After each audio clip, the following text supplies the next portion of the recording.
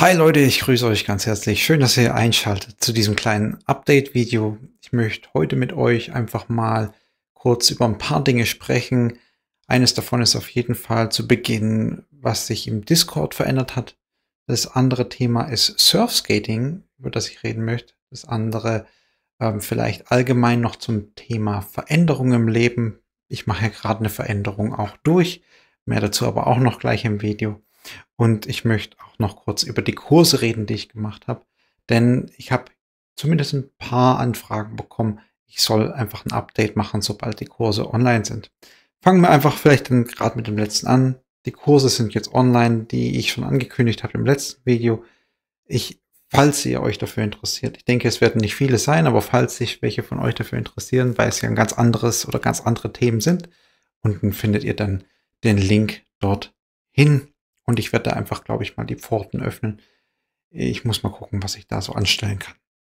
Auf jeden Fall. Das andere Thema ist Discord. Und da hat sich jetzt kürzlich aus was getan. Am Vatertag habe ich es mal wieder geschafft und habe mich mit dem eViolet hingesetzt im Discord und wir haben ein bisschen drüber geredet.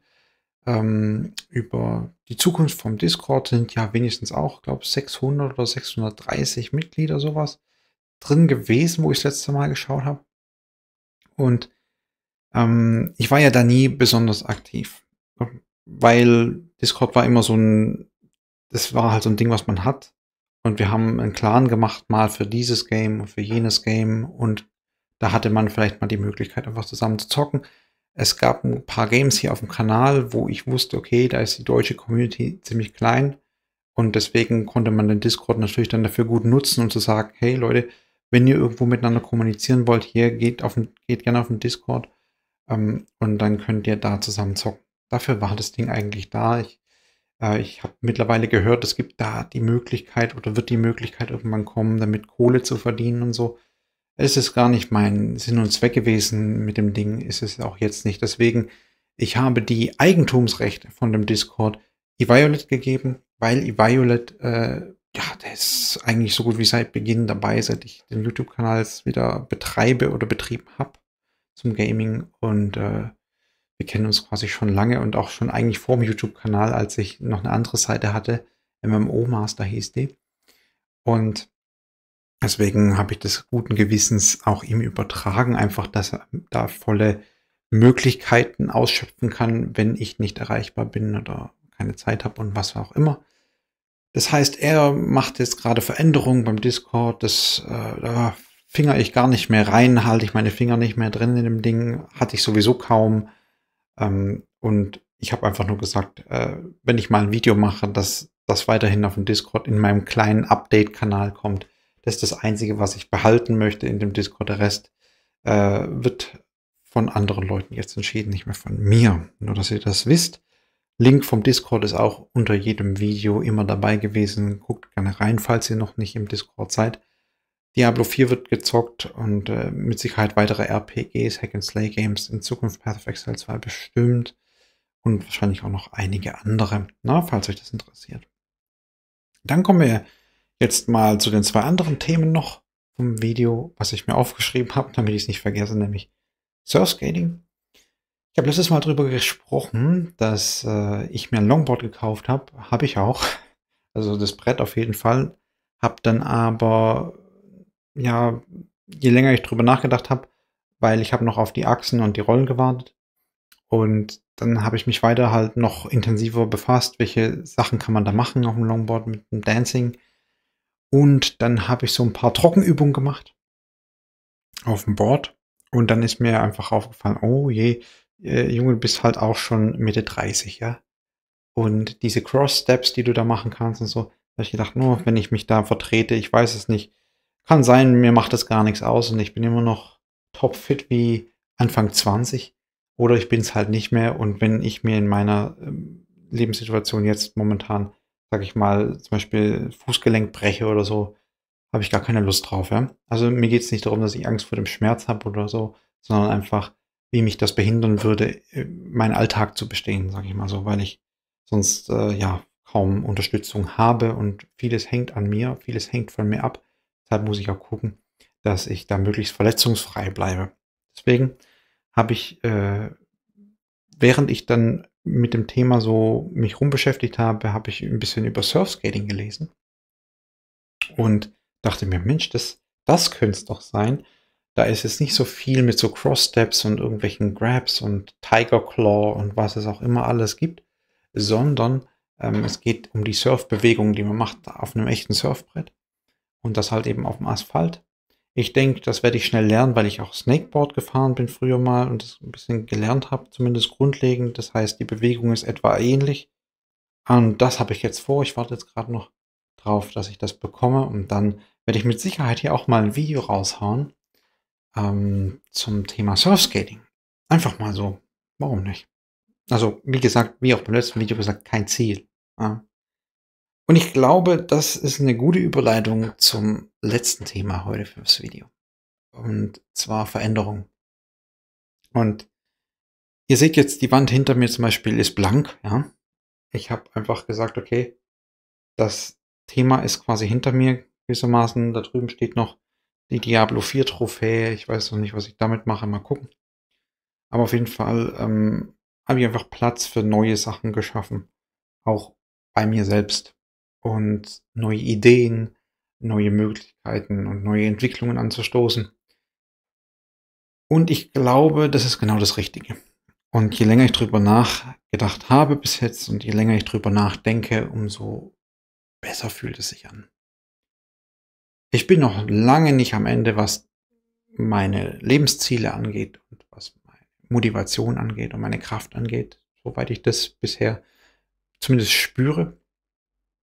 Und deswegen finde ich es auch gut, dass sich in mir Dinge verändern. Denn ich habe so ein bisschen das Gefühl, ich kann damit auch falsch liegen, weil ich ja keinen Einblick habe in viele Menschen. Und zwar besonders nicht so einen Einblick habe in allzu viele Menschen da draußen, weil viele Menschen geben einem diesen Einblick ja gar nicht.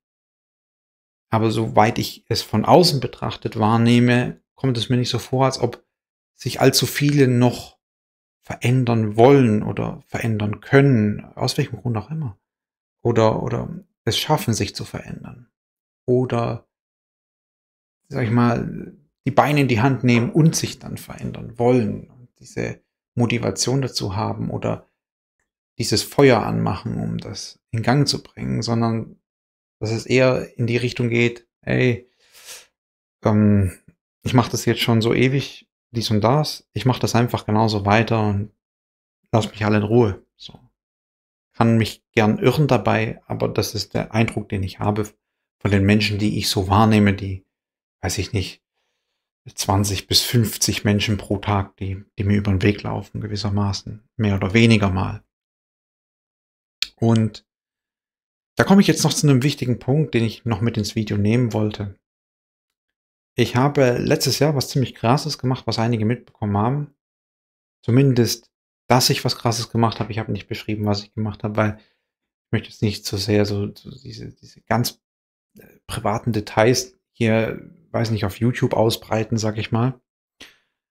Aber mir ist dadurch aufgefallen, dass ich das absolut gebraucht habe, weil wenn du dich umgibst, wenn du umgeben bist von Menschen, die ganz anders sind als du, die gar nicht so ticken wie du, die ihr Leben ganz anders leben wie du. Und du willst dich verändern, dann wirst du es nicht schaffen. Meistens, glaube ich, wirst du es nicht schaffen. Das ist mir, das ist mir aufgefallen.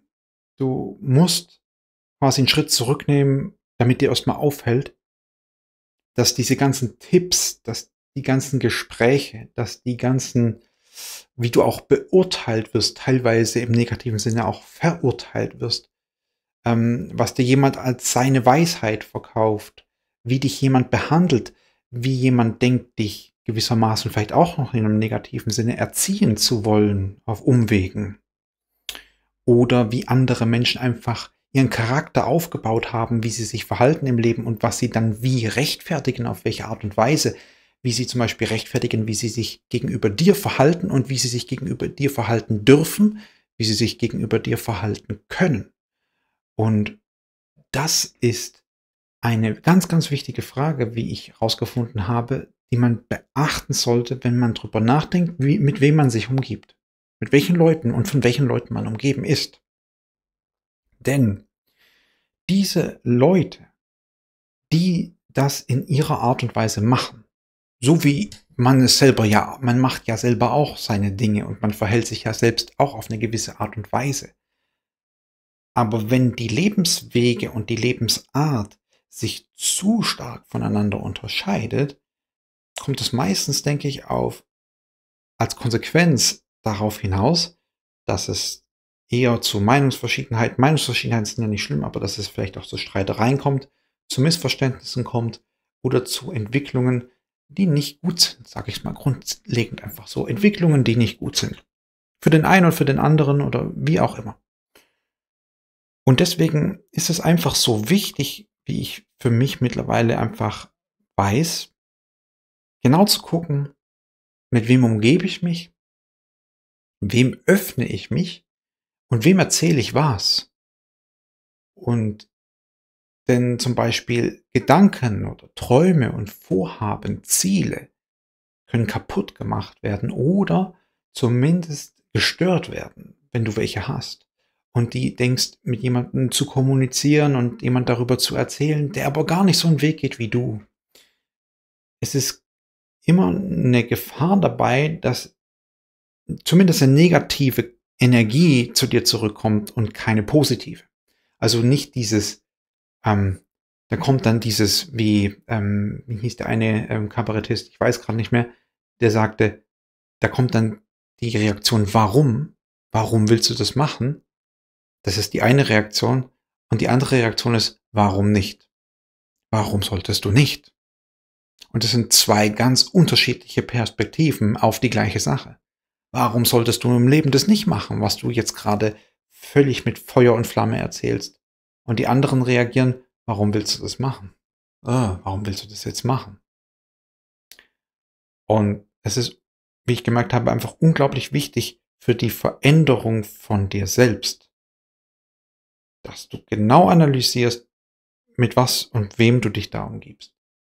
Denn diese, diese Einflussnahme, auch bewusst oder unbewusst, in beiden Formen, kann dich extrem daran hindern, dich weiterzuentwickeln, dich zu verbessern und deinen Weg zu gehen. Es ist dein Weg und nicht von jemand anderem den Weg. Und wenn du ja verschiedene Probleme damit haben kannst, wenn du von sowas oder von so Leuten umgeben bist. Zum Beispiel immer entmutigt zu werden oder immer dafür kritisiert zu werden oder sogar belacht zu werden oder Steine in den Weg zu bekommen dafür zum Beispiel sogar. Oder halt eben ständig eine gewisse Form von Unzufriedenheit, von Enttäuschung, von äh, Nicht-Stolz-Sein zum Beispiel auch sowas immer als Konfrontation mit dir zu haben. Du kannst der Sache ja gar nicht gerecht werden, kannst du nicht. Und dass sich das ändern würde, würde ja erfordern, dass die Gegenseite zum Beispiel viel weltoffener wäre oder einfach offen wäre und seine Erwartung einfach zurücksetzt an jemand anderen zum Beispiel, anstatt die Erwartung aufzuzwängen und anstatt die Erwartung mitschwingen zu lassen in jeder Minute. Oder eben auch versuchen Einfluss zu nehmen und auf Umwegen zu versuchen einzugreifen, was ja ganz und gar nicht gut ist. Und seitdem ich das gemacht habe, was, wo ich glaube, dass es wahrscheinlich 80 Prozent der Leute nicht machen würden in dem Fall, in der Situation nicht machen würden, weil das, was ich gemacht habe, quasi sind lauter negativ es sind keine Vorteile, die ich daraus hatte auf den ersten Blick. Es sind nur Nachteile gewesen. Es wurde alles schwerer, es wurde alles komplizierter, es wurde alles anspruchsvoller. Äh, es war, war, waren schwierige Zeiten, schwierige, anstrengende Zeiten. Also ich, durch die Entscheidung, die ich letztes Jahr getroffen habe, habe ich nur Nachteile gehabt. Aber je mehr Zeit vergangen ist, weil ich auf die Stimme hier drin gehört habe, je mehr Zeit vergangen ist, umso stärker wurde die Stimme da drin und hat mir gesagt, du lagst verdammt richtig. Und das ist das, was ich heute einfach im Video von mir persönlich noch mitgeben wollte, an, falls sich jemand dafür interessiert. Ich weiß, wir sind ja auf einem ehemaligen Gaming-Kanal, ja. Aber das war das, was ich einfach noch mitgeben wollte. Ähm, falls ihr, falls du auch in so einer Situation vielleicht steckst, wenn du da irgendwas assoziieren kannst. Und zwar der Ansporn, hör auf deine innere Stimme. Wenn du merkst, dass da was ganz falsch läuft oder dass du dich mit ganz falschen Leuten umgibst und merkst, dass dich was ständig runterzieht, dass du ständig irgend so einen negativen Einfluss spürst, der von außen kommt, der von deinem Umfeld kommt, der bei jedem Treffen, bei jedem Treffen und du merkst es, weil keine Offenheit herrscht, weil keine Ehrlichkeit herrscht, weil niemand in deiner Umgebung zum Beispiel das einfach nach außen trägt, was er in sich drin hat, weil sich keiner offenbart, sondern jeder irgendwas vorspielt und vorkünstelt und alles immer nur gut ist. Wie geht's dir gut? Ach ja, gut. Wie geht's dir gut? Ach ja, gut. Wie geht's dir gut? Hm? Wenn du das merkst und du merkst, dass du eigentlich derjenige bist, der gibt und der sein Inneres nach außen trägt und dann dieses, was du nach außen trägst, versucht wird zu, zu, zu zerhämmert werden, ja, von, von anderen irgendwie, mm, mm, was ist das, mm, aber komisch, weißt du?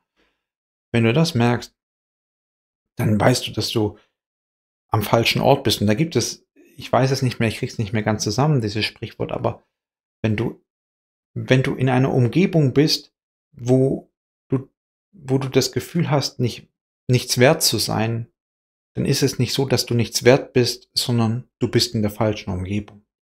Ja, die Umgebung ist falsch, nicht dein Wert ist falsch, nicht das, was du bist, ist falsch, sondern das, wo du dich bewegst, wo du bist, mit den Menschen, wo du bist, das ist falsch, das stimmt nicht.